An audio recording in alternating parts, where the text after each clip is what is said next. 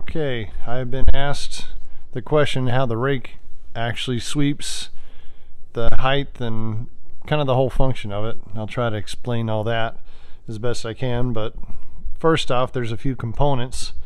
The main part of the gearbox right here is the 4 to 1, which does four complete rotations per cycle. And that rod coming off it goes up here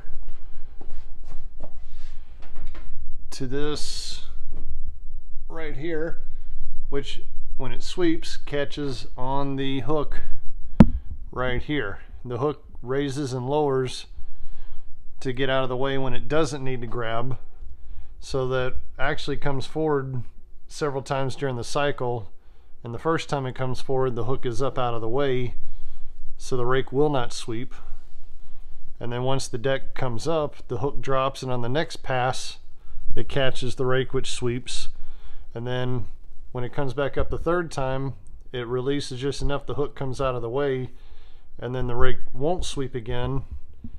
And then well let me just show you. Let me show you the four to one first.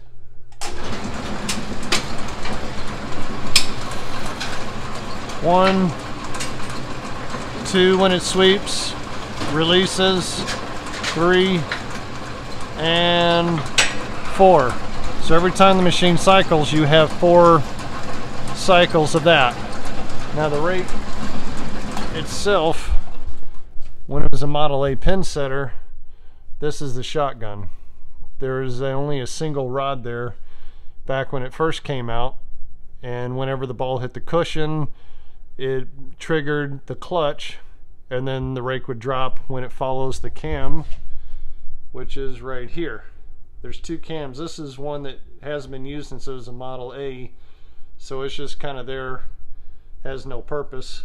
This one is the rake, and then this one is for the scissors, for when you have the deck shifting and the scissors and all that operation. But this middle one is the one for the rake height. And you see it's got the roller connected to that, which goes to the shotgun. And up here, there's a very fine gap right here. So when you bowl, you hit the cushion,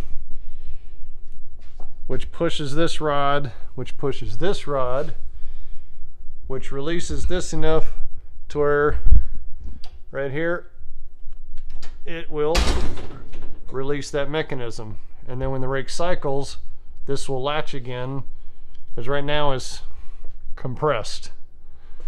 But watch when I cycle it,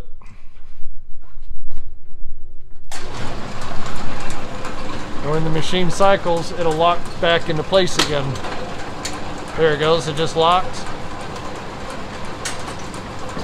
That's the height.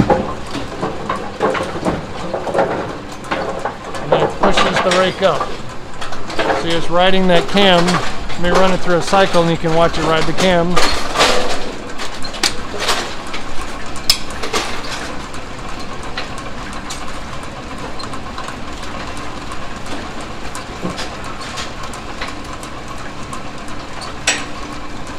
Notice there's that one big lobe on the cam, which is where it's sitting right now when it's fully raised up. Then when you just hit the reset button, it rides the cam the whole time. It doesn't release the shotgun, it just rides the cam.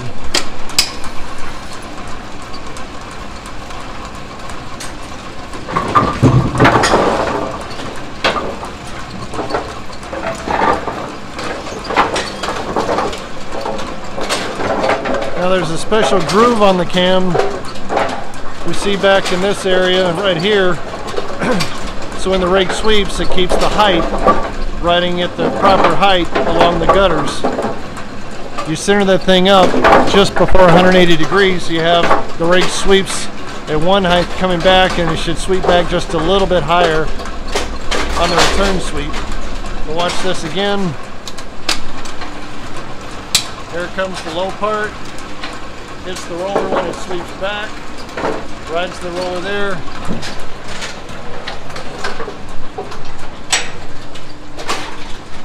See it from here, the rake hook it misses, then it drops, catches, comes back and releases. So it has four passes and it only catches on the second pass, releases on the third pass, and then it's waiting for the next cycle. Let me run through again. Miss on one, drops for two, sweeps, releases on three, misses on four again. And then it drops down so it'll catch again to sweep on the next cycle. But that's the rake mechanism.